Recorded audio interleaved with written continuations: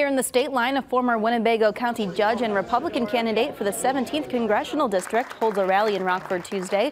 It's part of Judge Joe McGraw's Keep Our Community Safe rally tour across the entire district. McGraw is challenging Democratic incumbent Eric Sorensen for the seat in the U.S. House. He says he believes a shift in the political climate and how residents feel about the country's direction will help him win in November.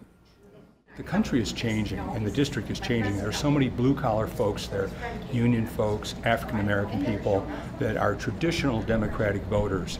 But we've talked to them, we've been in union halls, we've been in churches. So we've heard from them they're ready for a change. They don't feel secure, they don't feel safe, they don't feel prosperous, and they don't feel like the government is for them.